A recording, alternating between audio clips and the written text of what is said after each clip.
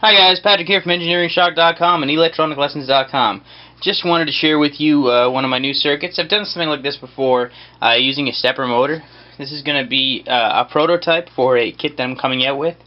Uh, it's a solar tracker kit, just a mini solar tracker kit. I've got some uh, servo motors on the way. The last time I did this, and if you look here, you're interested and you want to see it, look back on my channel, maybe six, seven months, maybe even longer. Uh, I did this with a servo or with a, a stepper motor. Now what you got right here are uh, three different light sensors. Now for a prototype, they're just on one board. But I'll be making PCBs with separate ones so you can place them around the solar cell. And I'm going to try to make this kit uh, supercapacitor based.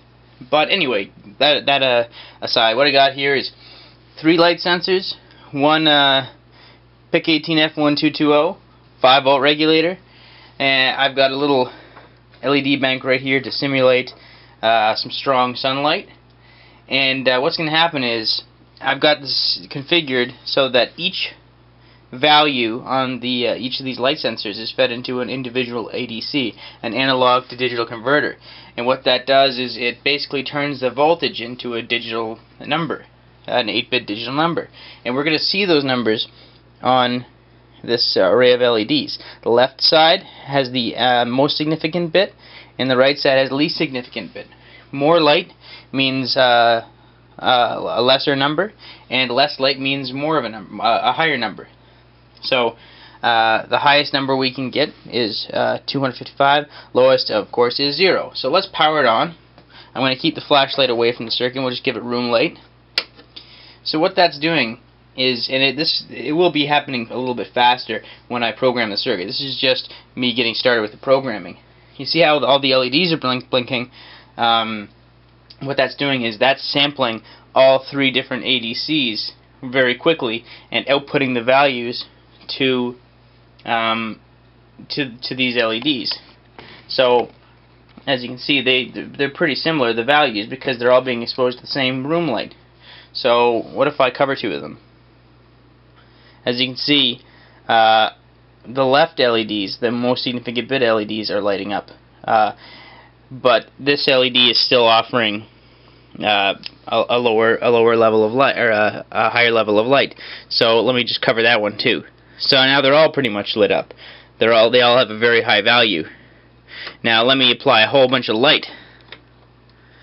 As you can see, we're getting values like 7, 6, 1,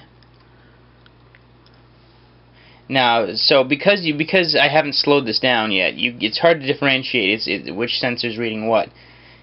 Right now, there's one sensor that's reading a relatively high value.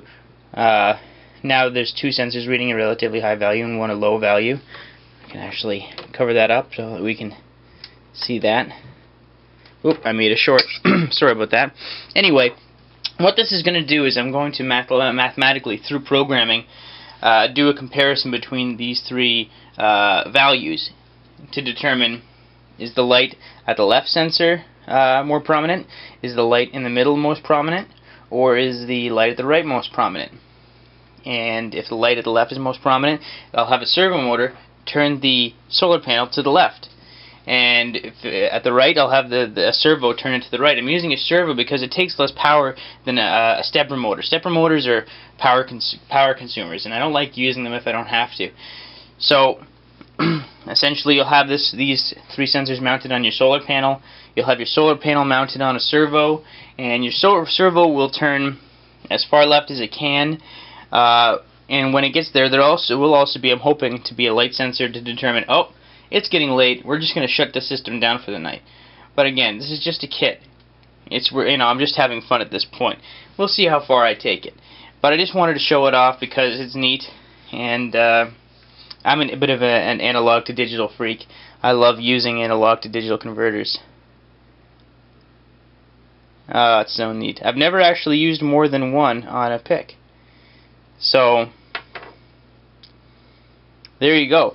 Anyway, I've ho hopefully you've enjoyed this. Uh, I'll be updating this project as time progresses. I'm waiting on some more servo motors, and uh, I've got a bunch of solar cells, so uh, let's just hope that I'm as mechanically inclined as I am electronically inclined. Anyway, feel free to uh, visit engineeringshock.com. Our new website is up, and uh, electronics lessons, electroniclessons.com will take you to our eBay store. Thanks for watching, guys.